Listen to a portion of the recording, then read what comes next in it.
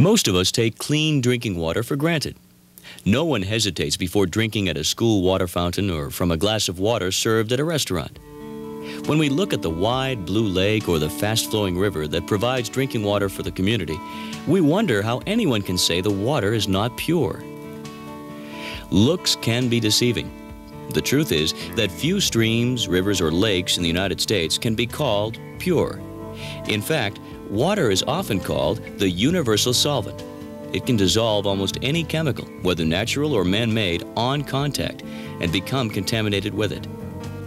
Therefore, before any water can be called safe for people to drink, it must be tested and usually treated. Drinking water cannot be taken for granted. It takes time, money, and knowledge to bring safe drinking water to the faucet.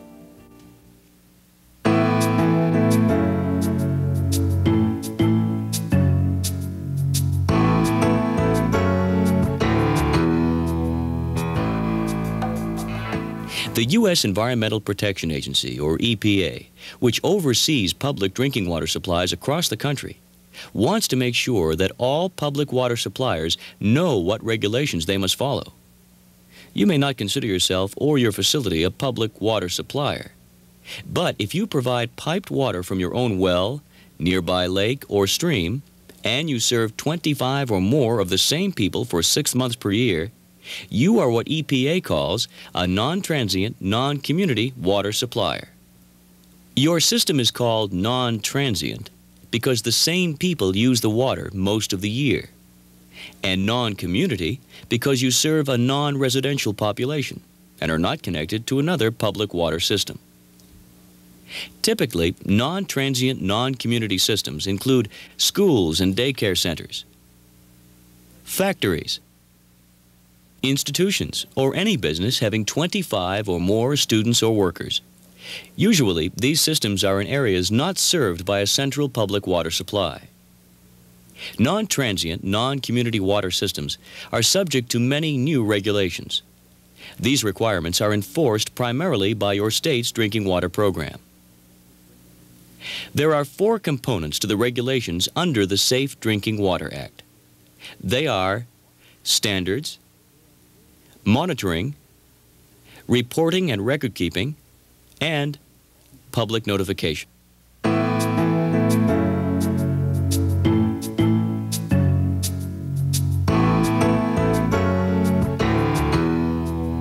All public water systems must ensure that their water meets contaminant-specific standards established by EPA or the state government. EPA arrives at an enforceable standard for each contaminant. However, some states may have stricter standards than the federal ones. EPA standard is known as a maximum contaminant level, or MCL. Your drinking water must not contain contaminants above these levels. An MCL is based on potential or actual human health effects posed by the contaminant, the state of the current technology for treating the water for that contaminant, and the costs of that treatment. How does drinking water become contaminated in the first place? Drinking water is drawn from either groundwater or surface water supplies. Groundwater is water that is found beneath the Earth's surface in rocks and subsoils. Surface water, such as lakes, rivers, and streams, is open to the air and runoff, and therefore is more likely to become contaminated. Some groundwater may be influenced by surface water, if it is a shallow well or a spring. Groundwater that comes in contact with surface water may become contaminated by the same contaminants found in the surface water. Your state drinking water program has already classified each water source as groundwater or surface water. The state will further classify some sources as groundwater influenced by surface water by June 29, 1999. Call your state drinking water program to classify your water source. This information is important because the type and amount of monitoring and treatment required under the Safe Drinking Water Act depends on the type of water source. The categories of contaminants that are regulated under the Safe Drinking Water Act include microorganisms, inorganic contaminants, synthetic organics, volatile organics, radionuclides, and disinfection byproducts. Microorganisms are living organisms and include bacteria, viruses, protozoa, and fungi. Public water systems must report the presence or absence of total coliforms in the water. The presence of coliforms, a class of bacteria, serves as an indicator of more serious disease-causing microorganisms.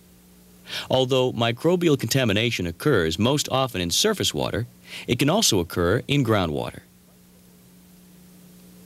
Microorganisms, especially those that come from human or animal waste, can cause serious diseases such as cholera or hepatitis.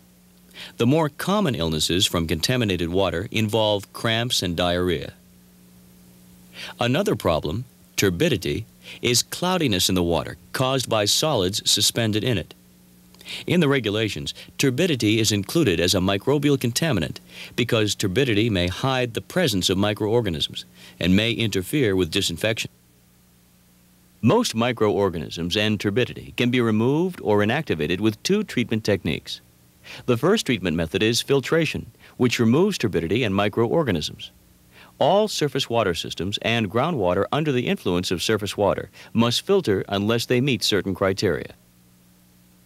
The second method is disinfection, which involves adding a chemical, usually chlorine, to the water to inactivate or kill any microorganisms present.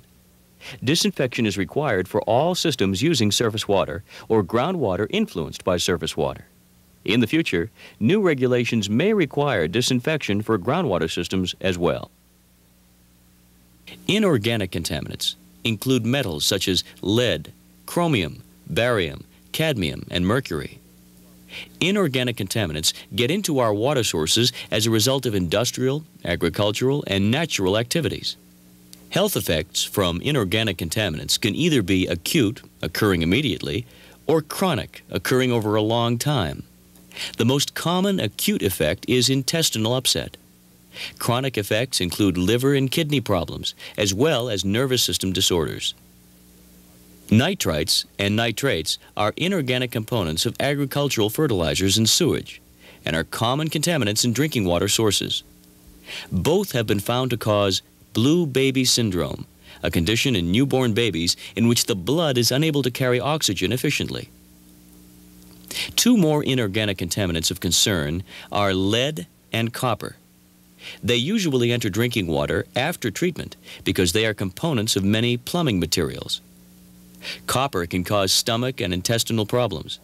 Excessive lead exposure alters physical and mental development and causes hearing problems and impaired blood synthesis. Lead especially affects young children. Since lead was removed from most gasoline, drinking water is one of the largest sources of lead exposure after paint and dust. Synthetic organics are chemicals that are man-made, such as pesticides and solvents. Pesticides can be carried from fields into water sources by runoff or improper disposal. Many pesticides can cause chronic health problems, such as cancer, and can damage the nervous system and vital organs. Volatile organic chemicals, usually referred to as VOCs, are characterized by their tendency to evaporate easily. Many are industrial solvents, they include benzene and trichloroethylene, or TCE, a component of many industrial solvents and dry cleaning fluids. These chemicals enter drinking water sources if they are improperly used or disposed of. Some VOCs cause cancer. Others cause nervous system disorders or affect the liver and kidney. Radionuclides are naturally occurring radioactive materials that enter drinking water sources usually as a natural phenomenon. Radon and radium are two examples. If consumed in drinking water, both may cause cancer over long periods of time. Disinfection byproducts are formed when the chlorine used for disinfection reacts with naturally occurring contaminants in the water. They are a growing concern for public health officials. One byproduct, chloroform, may cause cancer. Although non-transient, non-community water systems currently are not required to test for disinfection byproducts, future rules may require smaller systems to monitor for them. Monitoring is the second major component of the drinking water program. The regulations require monitoring schedules for the different groups of contaminants we have discussed. States may set more stringent schedules than the federal standards if they wish.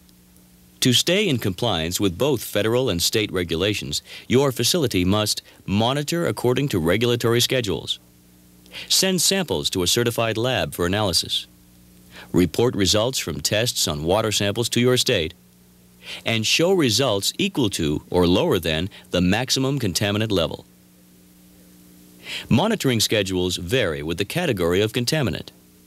Sampling procedures are also contaminant specific.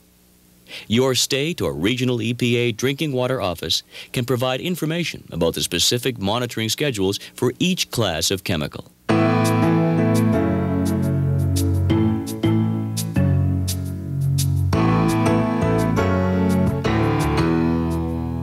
While the requirements under the Safe Drinking Water Act may sound complex, the individual steps are straightforward. Let's look at the Country Day School, a small, non-transient, non-community water system as a case study. The Country Day School obtains its water from a well on school property. The school employs six teachers and has 42 students. The state has notified the school principal, Ellen Chancellor, of the public water system requirements. Realizing her responsibility to her students and teachers, Ellen has decided to start right away on complying with the new rules. Her first step is to determine which contaminants her school must test for. Referring to materials she obtained from the state about the Safe Drinking Water Act requirements, she found that non-transient, non-community water systems using groundwater sources not influenced by surface water are required to collect four quarterly samples for volatile organic chemical determinations, collect a sample for total coliforms each quarter that school is in session, collect one sample per year to test for inorganics, and sample every six months for lead. Not all groundwater systems are required to test for pesticides. However, since the school is in an agricultural area, the State Drinking Water Division recommended that the school conduct a test for pesticides quarterly for one year. Next, Ellen called the State Drinking Water Division to get a list of laboratories certified to perform drinking water testing. Hello, this is Ellen Chancellor, principal of the Country Day School, and I just received a notice. Certified laboratories have demonstrated their capability to conduct the required tests using the procedures and instrumentation specified by EPA. In some states, the state drinking water program may take the samples and perform the analysis. Once Ellen had chosen a laboratory, the laboratory manager provided instructions on how to take samples throughout the school. For the more complex sampling procedures, a technician would travel to the school to take samples. Ellen referred again to the materials from the State Drinking Water Division to establish a schedule and map out the sampling locations. She and the school nurse collected samples from all five of the taps in the school for lead and from one tap for total coliforms, following the laboratory's instructions. A laboratory technician collected samples from one tap for volatile and synthetic organic chemicals as well as inorganic contaminants. With proper instruction and sampling bottles from a laboratory, you can do all the sampling yourself. Two weeks later, the sample results were on Ellen's desk. The laboratory manager included a cover letter asking her to call to discuss the results. Comparing the test results to EPA's MCLs for the contaminants tested, she found that the facility's water exceeded the maximum contaminant level for trichloroethylene, or TCE, an industrial solvent sometimes found in drinking water. Because a contaminant was found at a level exceeding the MCL, Ellen was required to report the exceedance to the state within 48 hours. She then contacted a water treatment specialist to advise her on how to remedy the problem. The school was presented with three options. One, to drill a new well to a deeper, uncontaminated groundwater source.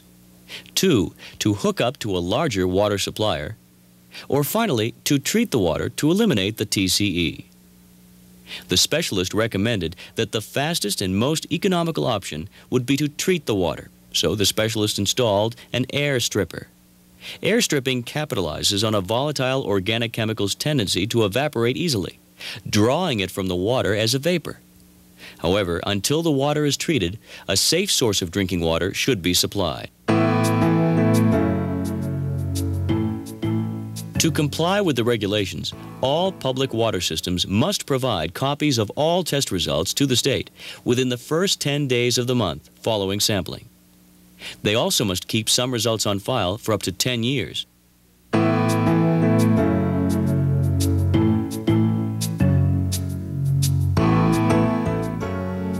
Just wanted to give you an update on the drinking water situation. Communicating with the people who use the water at a facility is one of the most important aspects of a system operator's job.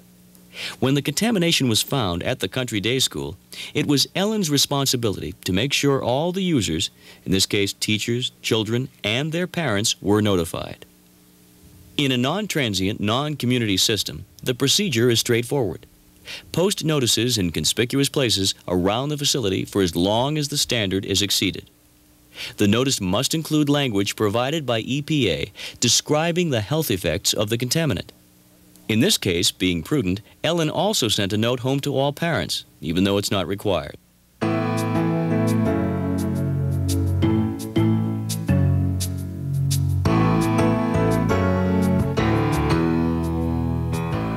EPA and your state drinking water program are responsible for making sure that all aspects of the requirements, standards, monitoring, reporting and record keeping, and public notification are addressed. In some cases, these responsibilities have been delegated to local or county governments. If you do not comply with these regulations, you could face legal action and penalties from your state or EPA. The more important reason to comply with the regulations, however, is to protect the health of the people at your facility, as well as your own health. Under the Safe Drinking Water Act, you, your state, and the Environmental Protection Agency have a common goal to provide safe, clean drinking water for everyone. By following the steps spelled out in EPA's regulations, you can be sure that you are doing your part this way, we can all keep clean, safe drinking water on tap for the future. For more information, contact EPA's Safe Drinking Water Hotline at 1-800-426-4791, 8.30 a.m. to 5 p.m. Monday through Friday. Or call your state's drinking water program or your local government.